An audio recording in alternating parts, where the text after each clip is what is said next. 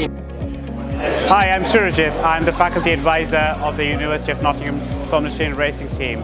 It's an electric car. We've got four wheels, but two of the wheels are driven. And uh, this is the second year we are participating. We've just finished uh, all of our scrutineering and we are heading off to the sprint event now. We've been using Percepio's Tracealyzer to debug the car all weekend. So this is a brand new electric vehicle testing for the first time at the Silverstone event. So Tracealyzer we've been using to record, debug and monitor the ECU and the AMS while it's running and in testing to ensure that we could get it ready and pass scrutineering and get through electrical testing. So it's great to be able to record some traces and then play that back and view how the car interacted, all of our tasks and how things are performing.